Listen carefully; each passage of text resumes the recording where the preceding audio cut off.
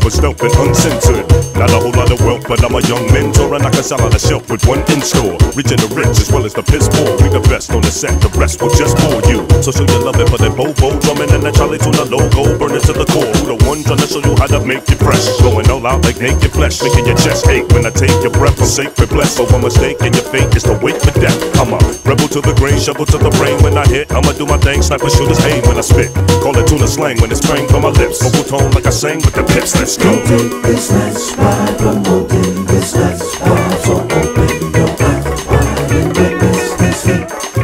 Come take this nice promoting this nice ride. So open your eyes wide and witness this heat. Yeah, feeling the peace like a man who knows God. What are you eating right now, Daniel? I am eating a tres quesos baguette.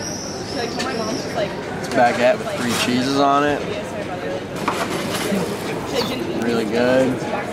Alex, what's up? How's it going, Riley? Good. What are you eating right now? i Eating a croissant con jamón y queso. It's Oh. a ham and cheese croissant. William, what you have drinking? I am drinking some cafe leche con leche. and Just it's like good. all of Cheers to that. This is our first stop. We're finally off the ship. That's how that's how it is in PC. Like I don't know if we're ever gonna go back to the ship because this is the best thing in the world. Barcelona, Spain. The first stop on our trip.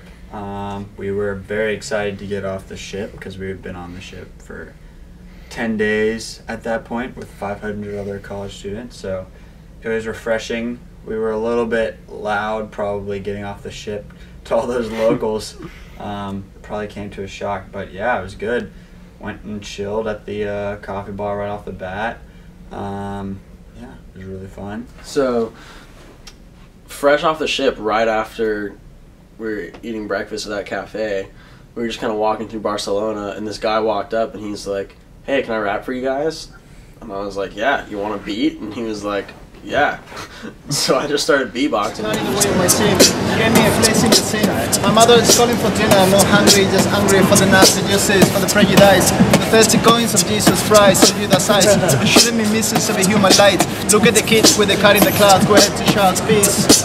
We had some praise, new praise for grace. Alright, dark wind to win, but this is not evolution. With always a race of pollution. The spirit is bringing solutions, spreading the whole application. Breaking the brink of discussions, putting the hand on the shoulder, close to the weak and the quick One of the first places we went to was La Boqueria, which is a really famous outdoor market in Barcelona. Uh, it was really cool. It was just all locally grown fruits, vegetables, homemade candies. Uh, it was totally unlike anything I've seen in America. So it was cool. It was like instant immersion into this Spanish culture. It was awesome. Um, there were all sorts of street performers and dancers. Like these break dancers were really cool. Um, some of the best break dancers I've ever seen. Yeah.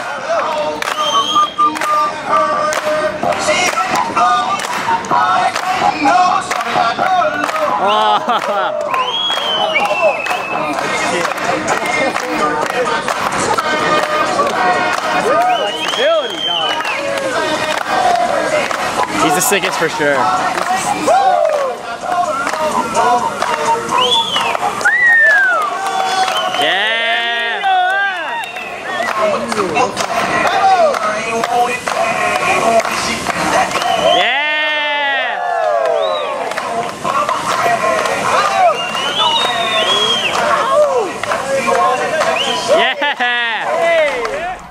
Barcelona food for us consisted of tapas on tapas on tapas. Um, tapas are basically appetizers, but they're really traditional to Barcelona. So they're just like 14 or 15 different tapas that you find at literally every restaurant. Um, so we would just kind of eat tapas all day over the course of the day rather than have kind of a distinct breakfast, lunch, dinner. It was like one continuous tapas session all day, which was really great. Um, what else did we see? Oh, saw some sweet reggae ska band jamming out. We went and hung out with those guys for a while.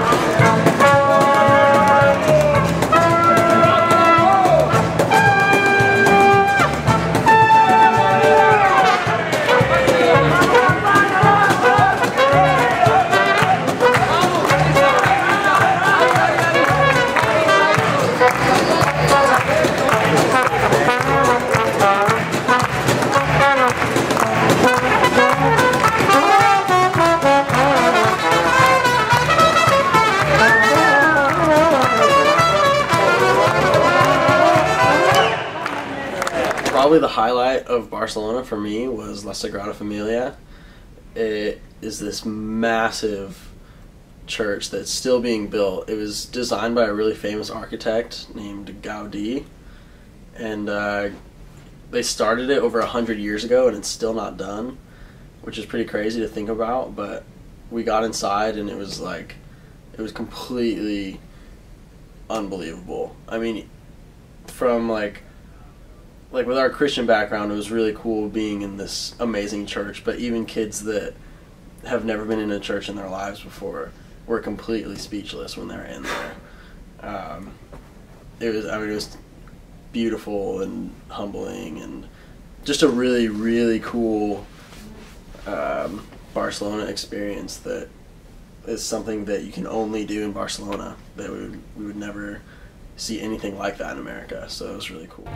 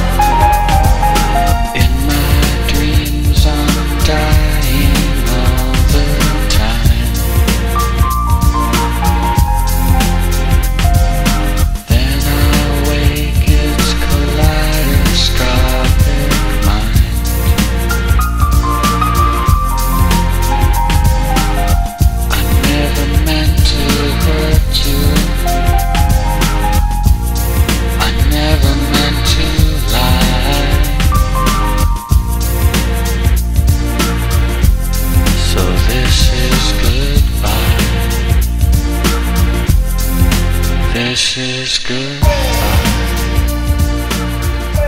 Sorry that it took so long to get these videos going. Um, the internet in Europe is very unreliable, and we don't. We thought we were gonna have internet on the ship to upload the videos. Ends up we don't, so we have to get them every, however often we can. We're gonna get this one up, and then we'll have the Italy one up right after that, hopefully. Um, so yeah, thanks for watching. And here it is. Thanks for watching. Thanks for watching. One, two, three, uh.